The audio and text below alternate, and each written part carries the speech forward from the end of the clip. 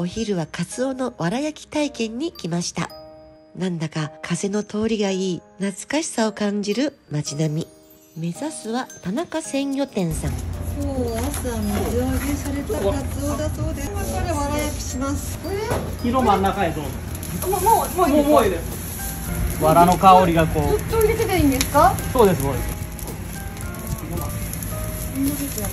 出来上がりでわら焼き体験は電話予約してください。私はカツオ苦手だったけど大好物になりました。新鮮なカツオは塩と薄切りのニンニクで食べるのが最高なんです。おたたきと塩で塩10月11月戻りカツオが美味しいんですよね。